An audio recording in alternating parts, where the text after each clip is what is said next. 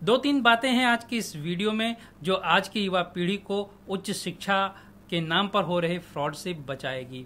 आपका समय और डिग्री दोनों की अहमियत बनी रहे। इसके लिए आपको हमेशा एक अच्छे शिक्षण संस्थान को जांचना और परखना बेहद ज़रूरी होता है।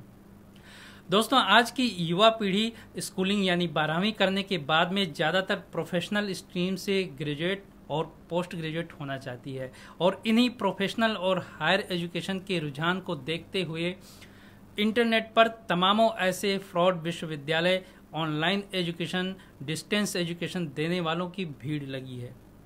अभी कुछ दिन पहले यूजीसी ने, यानी विश्वविद्यालय अनुदान आयोग ने, देश भर में चल रहे फर्जी 21 विश्वविद्यालयों की एक लिस्ट जारी की थी। जिसमें दिल्ली के आठ विश्वविद्यालय, उत्तर प्रदेश के चार विश्वविद्यालय समेत पूरे देश में फर्जी विश्वविद्यालयों की ये पूरी लिस्ट है जो आप देख रहे हैं। आप चाहें तो यूजीसी की वेबसाइट पर जाकर के भी ये देख सकते हैं। दोस्तों, आप बात करें ऑनलाइन एजुकेशन, डिस्टेंस एजुकेशन देने वाले शिक्षण संस्थान की तो यूजीसी की गाइडलाइन के अनुसार 17 तरह की जो सिलेबस हैं, वो बिल्कुल बैन हैं, जिसमें engineering, medical, physics medical pharmacy, hotel management, बागवानी, नर्सिंग, कानून, कृषि खान पान प्रौद्योगिकी, विमान रख रखाव दृश्य कला और खेल जैसे सत्रह तरह के सिलेबस हैं जो बिल्कुल बैन हैं।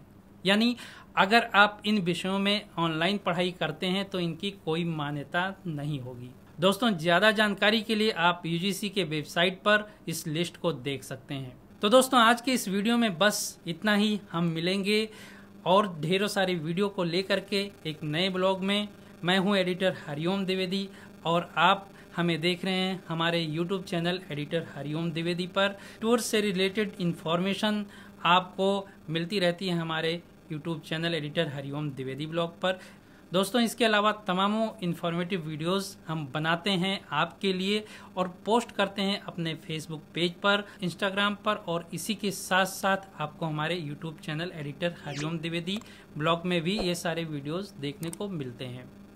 तो दोस्तों, आज के वीडियो में बस इतना ही। हम मिलेंगे जल्द ही एक नए वीडियो के साथ। तब तक आप देखते रहिए हमारा channel editor Hariom Dwivedi blog और ढेरों सारा प्यार देते रहिए।